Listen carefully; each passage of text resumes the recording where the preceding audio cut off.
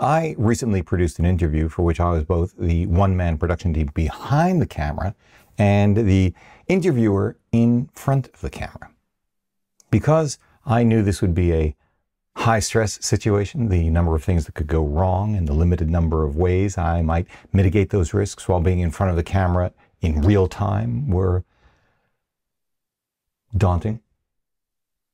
I took a belt and braces approach to its planning and execution.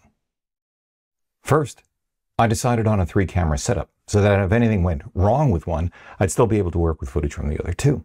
And of course, not for nothing, I also felt this would offer the highest production values. Second, I rented two camera lens kits identical to the kit we own and use every week here in the Batcave. A, to minimize time spent setting up, and B, to minimize time spent working in post, trying to match colors, etc., etc. Third, I bought six new 64 gigabyte cards, formatted them and tested them days before the shoot in each camera. Fourth, I set up each camera for simultaneous recording. Fifth, I used two sets of lav mics, one wireless system, one wired body pack system, so that if one failed or we got interference, we'd have backup. And sixth, I used two identical and powerful bicolor lights with battery backup so that I could easily match ambient lighting, possibly get by with one bounced into the ceiling if something went wrong with either one. You know where this is going, right?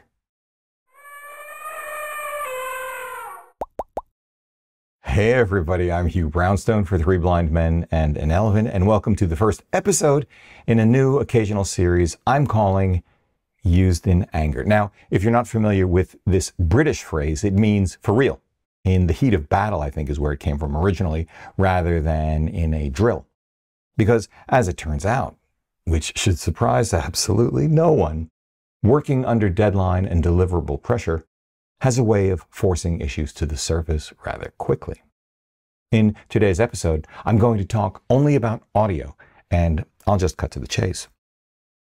One, my Rode Wireless Go 2s might have seemed like the obvious choice for this interview. Tiny kit, dual channel receiver, internal recording for backup, and most importantly from my perspective, the use of spread spectrum frequency hopping technology, obviating the need for me to constantly monitor audio for interference in real time. But I'd been having reliability problems with the system for almost a year. When I'd first used it in anger, a solid nine months after I'd done the first look video, one of the transmitters wasn't picked up by the dual channel receiver. I hadn't realized there was a problem during the shoot itself because Claudia and I were both mic'd up and at sound check both worked. I mean, I thought they did. It wasn't until I got home here in the Batcave that I could hear my mic was missing altogether. And because my previous experience with Rode had always been excellent, I hadn't bothered turning on the built-in onboard backup recording feature, of course. Fortunately, we were both close enough that Claudia's mic picked me up as well. It was a tolerable difference, I'll call it, in audio quality that I hoped most people wouldn't notice. And an unintended benefit of just the one mic was that we got zero crossbleed. The lesson at that time was use the built-in backup recording which I subsequently learned required me to use the Rode Central app because this was the only way to set it up. No physical controls, which did not make me happy. Fast forward another six months or so, because I only use wireless lavs when doing interviews or when on location, and suddenly the receiver, no matter how fully I charged it, would die within moments of being switched on. Could I have returned the kit under warranty? Maybe, probably, I'm not sure, but I didn't. And instead moved on because DJI had just announced their wireless mic, which on first blush looked like a major step forward. Not only did the DJI system offer superior industrial design and build quality compared to the Rode, but it didn't require me to go through an app to set up recording on the transmitter. There's an actual record button right on the transmitter and a bright LED to confirm recording. Beyond that, the DJI system addressed the other fundamental issue I'd had with the Rode system, quite independent of reliability. The need to charge each transmitter and the receiver separately, which meant I'd have to charge them one after another, or in reality, have three power bricks and three USB-C cables to accomplish this simultaneously. More schlepping, more weight, more things to plug and unplug, more things to forget to pack. No likey. The DJI, on the other hand, came in a single powered case, much like Apple's AirPods, so that all three components would be charged via a single USB-C port in the case itself, with built-in battery backup. It also provided richer feedback via the receiver's touchscreen. Thus, I decided the DJI system would be my primary audio kit, the Rode continuing to gather dust at home, although I did take a pair of the Rode lavs to plug into the DJI. But you know, the old adage, once bitten, twice shy. So I also brought along a pair of Zoom F2 BTs, small body pack style recorders with wired lavs and a Bluetooth app. Although I'd found it a bit short on feedback, no display, only a couple of LEDs, the F2's 32-bit float meant I didn't need to worry about setting levels or recording a second safety track. Each body pack comes with a headphone jack, meaning I could check levels easily. The Rodes don't have a headphone jack. And sound quality is really nice. Of course, fresh batteries and properly formatted micro SD cards were at the ready. I had this. Ha! Fat chance. The very first thing that happened once I arrived on scene and began to slide the DJI receiver into my Sony a7 IV's hot shoe, the little foot that is supposed to slide in the shoe snapped off. And then the screen suddenly started displaying Chinese letters. I ended up figuring I don't need to understand Chinese as long as I could hear the mics. So I gently placed the receiver on top of the camera, perched precariously enough connected to the camera only by a coiled TRS cable. Suddenly, I was really glad I had the pair of Zoom F2s. As I soundchecked the F2s, however, one of them refused to pick up the mic. I couldn't believe it. I had, of course, put in fresh batteries. So, still, I put in another set of fresh batteries that I happen to have, and that didn't do it.